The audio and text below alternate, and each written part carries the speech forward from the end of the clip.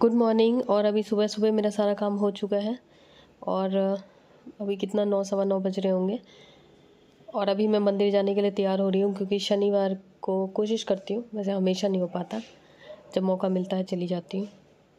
तो फटाफट से मैं चोटी बना लूँ, अब वापस से अपनी चोटी वाली उस पर आ गई हूँ मैं, चाहे हेयर स्ट्रेट कराया हो, चाहे जो कराया हो, चोटी तो ज़रूरी ही है, और यहाँ पे कमल जी सब्ज़ी वब्जी काट रहे हैं।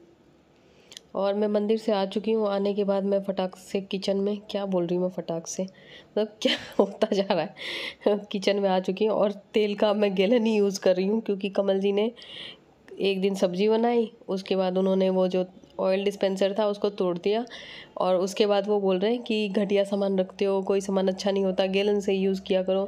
मैंने कहा हाँ मेरे जो सामान चूते हो उसको तोड़ ताड़ के रख देते हो। इतने साल से चल रहा था। और कुछ नहीं हुआ था और कमल जी के छूते ही पता नहीं जो चीज़ हाथ लगाते हैं उसको तोड़ ताड़ के रख देते हैं।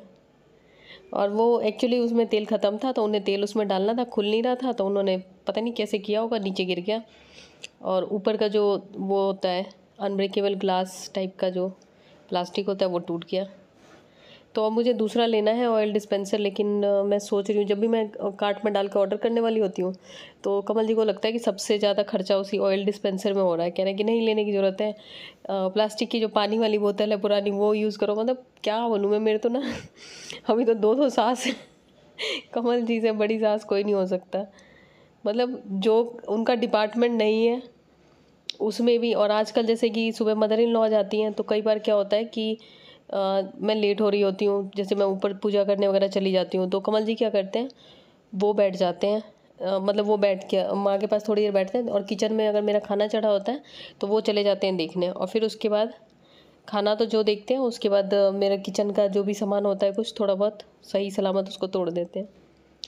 और अब मेरा खाना वाना बन चुका है और मैं लैपटॉप लेके इसलिए ऊपर नीचे कर रही हूँ, क्योंकि हम लोगों का जो वाईफाई लगा हुआ है सीढ़ियों पे, लेकिन पता नहीं क्या इंटरनेट वाला अजीब सा है जबकि प्लान भी हमने ठीक ठाक ले रखा है। ऐसे लगता है लग, रहता है जैसे गाँव वगैरह में नहीं लोग जाते थे। मतलब गाँव में क्या एक मूवी देख रही थी मैं बहुत पहले देखी थी अभी। एक पंजाबी मूवी थी उसमें ना वो नेटवर्क के लिए पन, वो हिमाचल वगैरह का वो सीन था। नेटवर्क के लिए वो लोग पहाड़ों पे चले जाते थे। और किसी का फ़ोन आता था तो पहाड़ों पे जाके एकदम वो करने चले जाते थे कि नेटवर्क आएगा वही मेरा हाल हो रखा है। और जब ज़्यादा ज़रूरी काम हो तो उस समय नेट आता ही नहीं रहता है। खैर, मेरा काम हो गया है। और आज मुझे वैक्सीन लगवाने जाना है सेकेंड डोज़ जो कि मेरा बिल्कुल दिल नहीं कर रहा। अगर मेरे बस में होता तो मैं तो नहीं लगवाती, लेकिन क्या बोलूँ? जब रहना है भारत में तो वो लगवाना ही पड़ेगा। और मैं फाइनली ये नेल पेंट रिमूवर लेके आ गई। ये मैं सुबह मंदिर गई थी तो मैंने उसको बोला शॉपकीपर को आ, कि भैया जो ऐसा देना जिससे कि अच्छा बहुत सारा मतलब बहुत जल्दी उतर जाए नेल पेंट तो उसको भी समझ में नहीं आ रहा मैं क्या बोल रही हूँ। मैंने कहा भैया बहुत पावरफुल देना ये देना वो देना। तो ये फिर भी मुझे सही लग रहा है। एसीटोन ही होता है ये ये तो मतलब इतना ज़्यादा डाइल्यूटेड नहीं है। लोकल है ये तीस रुपये का पड़ा।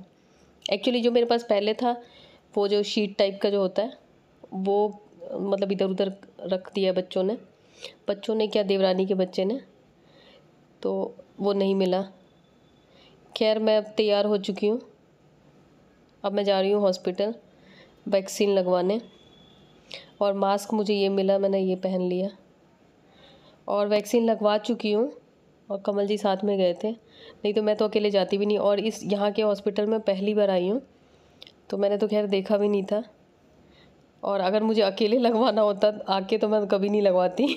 मैं सनस्क्रीन लगा के गई थी तो भी फेस काला काला हो रहा है, क्योंकि आज पूरे दिन ऐसे ही पहले सुबह मंदिर चली गई और उसमें धूप में घूमने लगी और रास्ते में माँ मिल गई थी मतलब मेरी मदर इन और मतलब ऐसे ही आज हो रहा है पूरे दिन और अभी जा रही हूँ मैं कपड़े चेंज करने।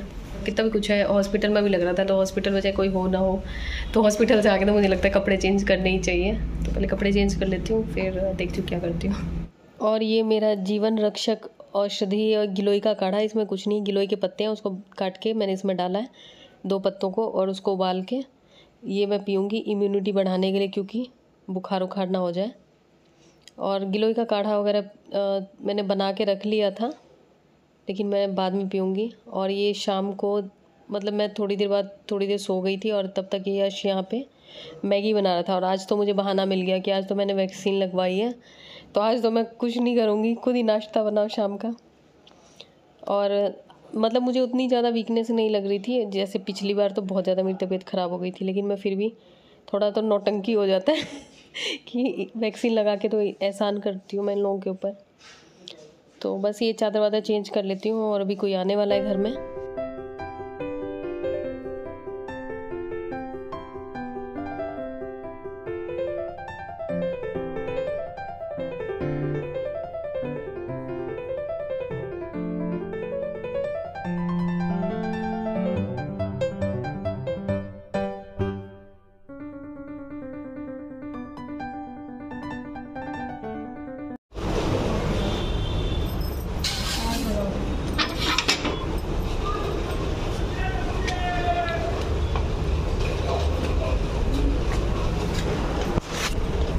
एक्चुअली मम्मी और सिस्टर मार्केट गए थे तो मैंने कहा कि यहाँ होते हुए जाना, क्योंकि फिर श्रेया को जाना होगा।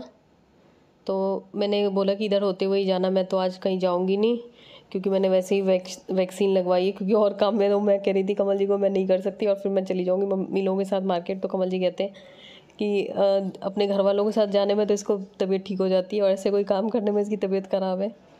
तभी मैं नहीं गई। और ये मैं इधर वो जो पोहा होता है या चिवड़ा होता है उसको मैं वो थोड़े से तेल में फ्राई कर रही हूँ। और जो कोई भी ये लोकल मार्केट जाता है तो समोसे ज़रूर ले आता है। मैं कितना भी सोचूँ ना खाऊँ बाहर का लेकिन समोसे तो लाना अनिवार्य हो गया है। मम्मी तो खाती नहीं है बाहर का। मम्मी लोग का सही है। और कमल जी के लिए ये बनाया मैंने। बेचारे कमल जी को भी नहीं दिया। किडो किडो किताब पढ़ रहे हो? ओए किडा। देखो मौसी कुछ कह रही है। हाँ हाँ पहले वाली तो बहुत बस बैठ के हम लोग टाइम पास कर रहे हैं, गप्पे मार रहे हैं। और चाय बनाई है मैंने। उसके बाद हम लोग चले गए थे थोड़ी देर तक, थोड़ी दूर तक उन लोगों को छोड़ने। और काफ़ी लेट हो गए तो फिर उसके बाद हम लोग मज़दूरी में लगे हुए हैं।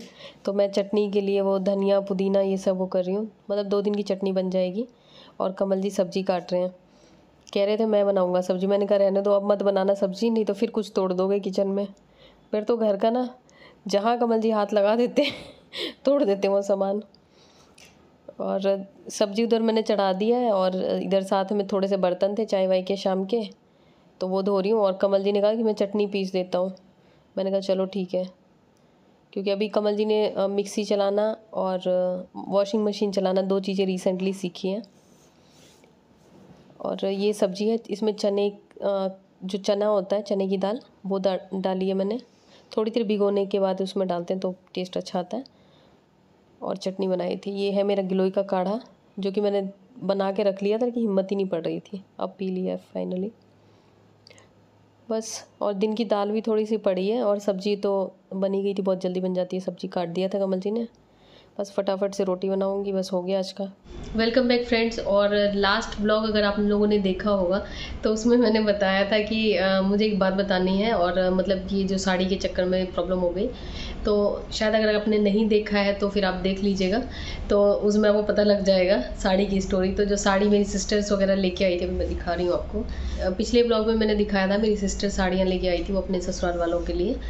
तो एक्चुअली मेरी मदर इन लॉ ने ना जब वो जा रही थी तो वो मार्केट से आके यहाँ होते हुए जा रही थी। तो मैं भी खड़ी थी। तो जब मैं उसे छोड़ने जा रही थी तो फिर मेरी मदर इन ने देखा होगा गली के कोने पे। तो उन्होंने देखा होगा फिर वो मुझे पूछ रही थी कि आ, मतलब किसी और ने तुम्हें देखा है मार्केट में जो यहाँ का लोकल मार्केट है वहाँ पे? मैं कहा मैं तो गई नहीं मैं तो उस दिन सही में नहीं गई थी मैं तो सो रही थी दिन में थोड़ी देर उनके जाने के बाद। मतलब थोड़ी देर रेस्ट कर लेती हूँ।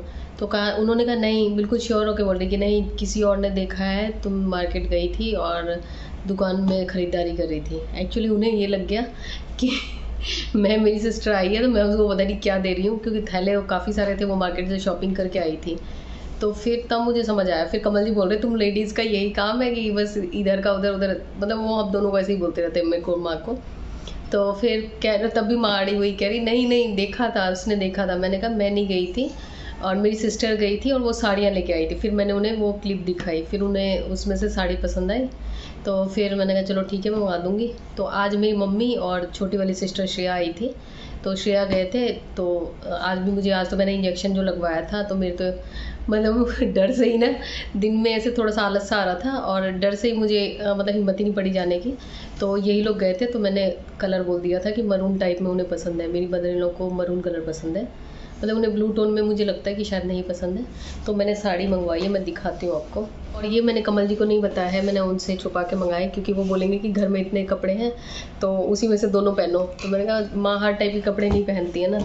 मतलब हम लोग तो जैसे कि कोई सिंथेटिक हो, चाहे शिफोन हो, कुछ भी पहन लेते हैं, लेकिन और कॉटन में भी उनको मतलब एक स्पेसिफिक पसंद होती है।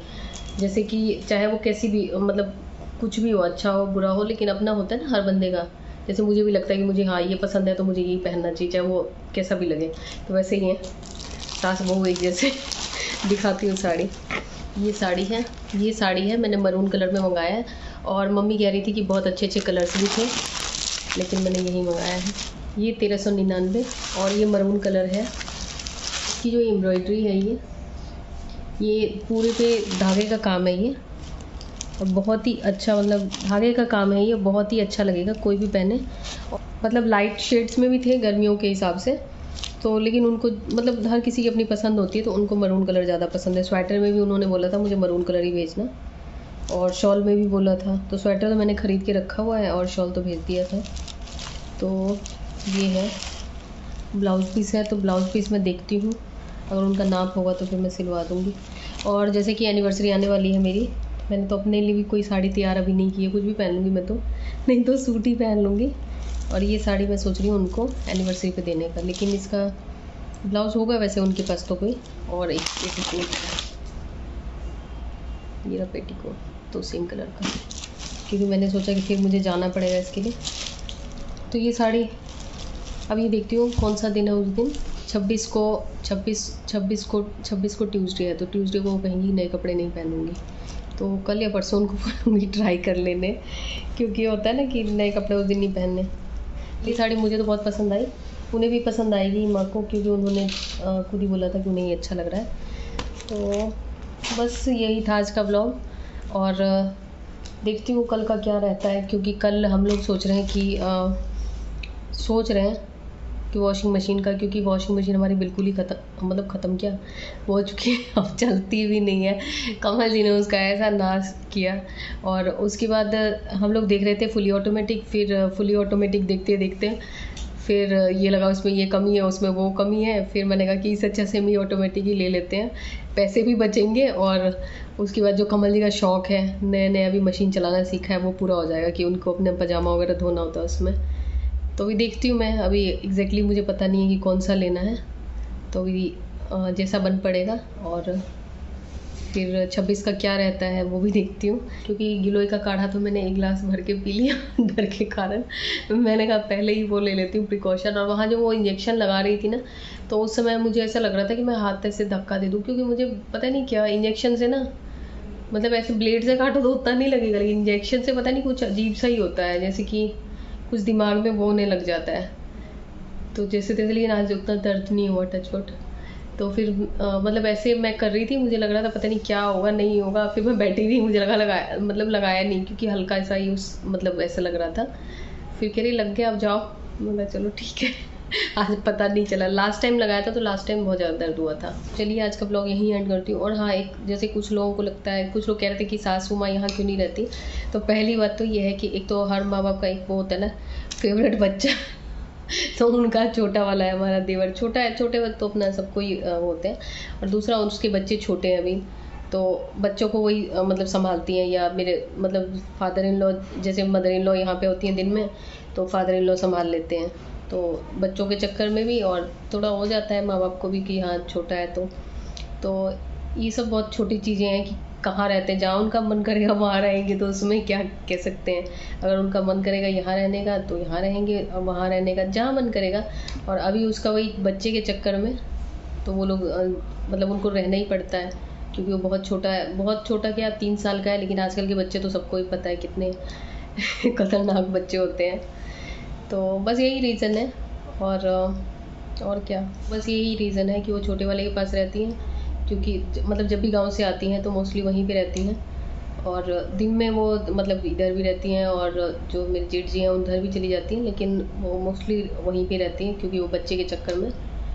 और बस यही था आज का ब्लॉग तो इस ब्लॉग में इतना ही। फिर आपसे नए ब्लॉग में तब तक के लिए बाय बाय